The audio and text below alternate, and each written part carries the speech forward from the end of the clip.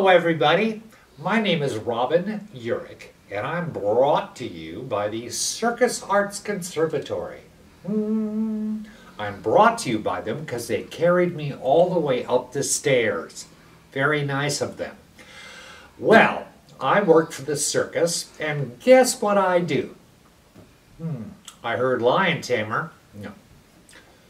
I heard aerialist. No. I heard concessionaire. No. Nope. I just happen to be a clown. Always wanted to be a performer.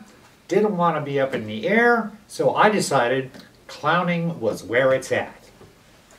Now, clowning is a very ancient occupation. And the first addition to the modern circus in uh, England and in America were clowns. Because originally they were horse shows. In fact, when people didn't have cars, a horse, a beautiful, well-trained horse, was a very cool thing for people to see. But they realized quickly that they needed something else, some addition to, uh, to the circus. And clowns were the first in. So we've been around for a long time. There's been lots of changes.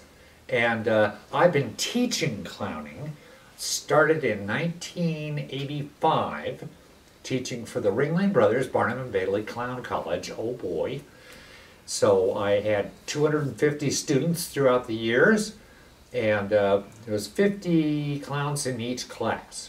And I went to this school in 1975, and they taught us all kinds of stuff. I mean, it was the hardest thing I ever did. It was 8 o'clock in the morning until 10 o'clock at night, and they taught us everything.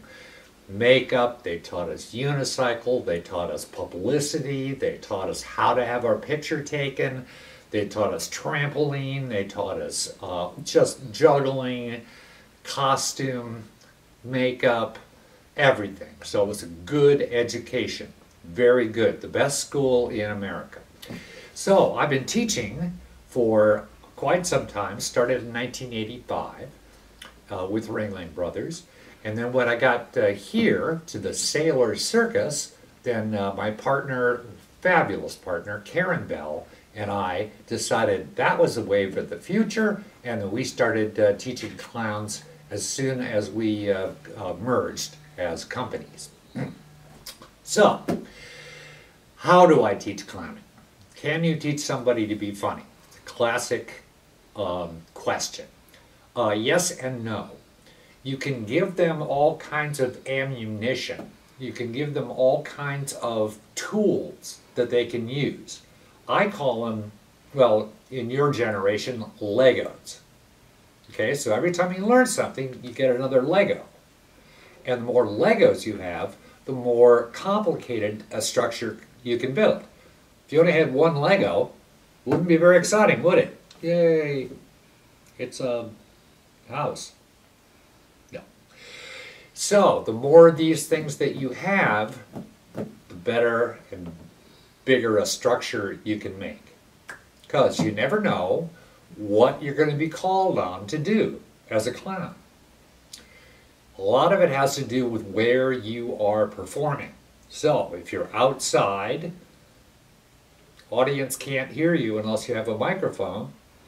If you're in a big tent and you don't have a microphone on you, the audience can't hear you. So things without talking become very important.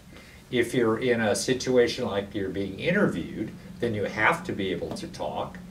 And a big part of it is size, size of gestures, and size of makeup. Now, if you look at my makeup, there's not much there. A small lines, okay? But everything is exactly where it's supposed to be. Everything moves. I don't just have a design on my face. If I had a unicorn on my face or something like that, it wouldn't be useful. It wouldn't show character.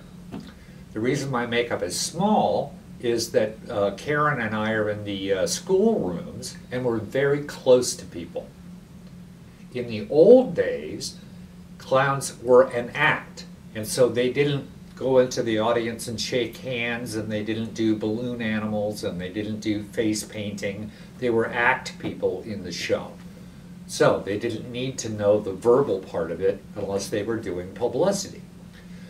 Now, Karen and I, because of the classroom and our commitment to education, have to be close and they have to be able to hear us. So you make adjustments because we have the right Legos.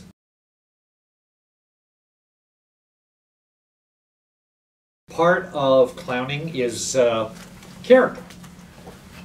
What kind of character are you going to play? So in something like this, it's a drawing, it's not a photograph of clowns, but it depicts clowns. So, you know, it's fun kinds of folks. These are tramp clowns. You don't see them very often anymore. Don't see them. Okay, let's see what else we have. So they're the hobo clowns, the tramp clowns, paintings. Celebrities. Real good pictures of white-faced clowns. There's three kinds of clowns. The white face, which is what most people are, are most familiar with. The Auguste, which plays the uh, white face's kind of, you know, um, dumb assistant, and the uh, uh, character clowns, of which the hobos are part. Okay? So if everybody was the same, it wouldn't be very interesting. That's why we have different kinds of clowns. And in the old days, there were 50 clowns on the Ringling Show. 50. So that was a lot of clowns. But the space was huge. It sat 10,000 people. Okay, so that was a lot going on, a whole lot. Enough clown history.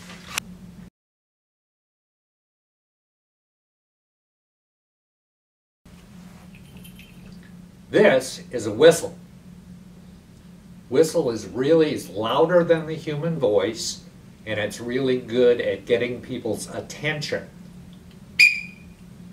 Problem is, if you use it for anything else, it becomes obnoxious. It's hard to listen to. It's too loud. Okay, so I always carry one of those case. And what I do is I carry one of these. This is a kazoo. Kazoo. Kazoo, kazoo. Used to be one company in America that made them. It was in Eden, New York, the kazoo capital of the world. Oh, cool. What's cool about this is it is a musical instrument. Simple, very simple, and very cheap. You can buy these at Walmart, you can buy these at the dollar store, but here's the secret. Big end, little end. You blow it, you uh, operate it from the big end. Okay, it's got a little piece of wax paper in there that vibrates if you do it correctly. So if I just blow, blow through this, nothing's going to happen. But if I hum. So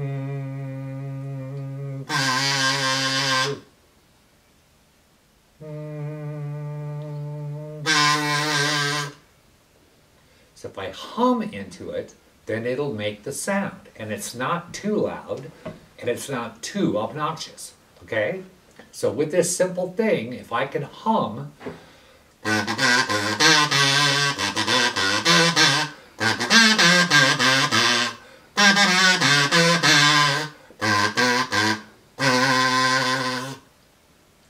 play a tune. It's very cool. People like the sound of this. People don't like the sound of this. So, kazoo.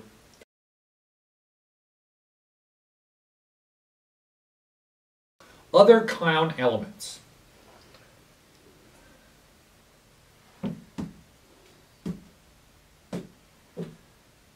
Juggling balls.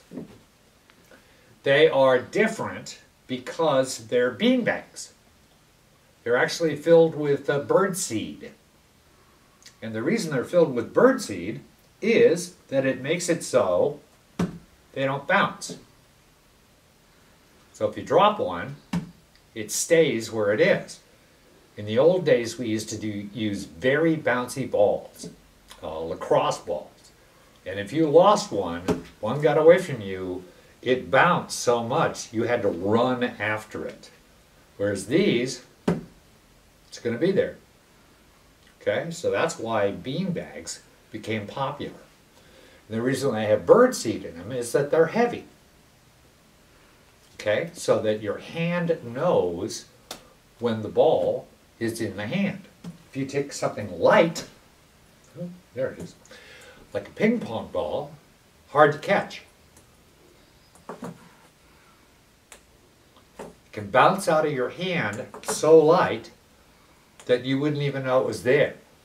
So if you're a really good juggler, you can juggle something light.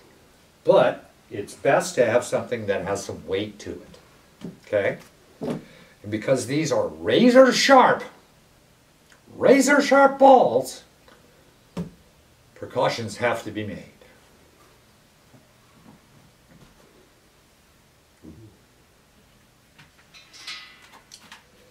Okay, preparing to juggle. There we go. I'm ready. Eye protection, check. Head protection, check. Razor sharp balls. Now, there's a way to juggle these on the surface. If I throw this up in the air, it runs out of the energy that I gave it with my arm, and gravity pulls it back down to earth. Gravity is always working on this. It goes up, it comes down. So I can't uh, slow that down unless I throw them higher. If I throw them higher and I'm a beginner, it, it's hard to throw them equally especially since you have a strong hand and a weak hand. So I'm right-handed. Some people are left-handed. Some people are ambidextrous, so they can do both. But the left hand is going to go lower than the right hand when you throw. But if keep them on the ground, keep my hands on the balls, I jump the ball, I pick up the ball I jumped, I move it over. Jump the ball, I pick up the ball I jumped, I move it over. I jump the ball, I pick up the ball I jumped, I move it over. Now this doesn't look like too much.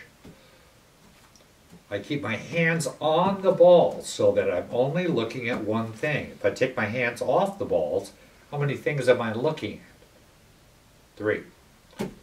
Now how many? One.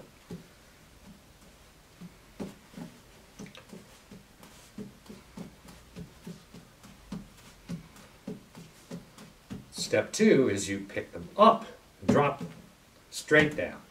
If you let them go too early, they're going to roll.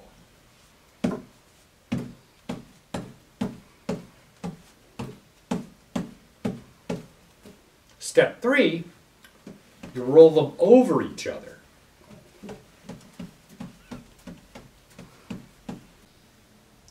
So, that's a part of the world of clowning. And it's all about these little Legos.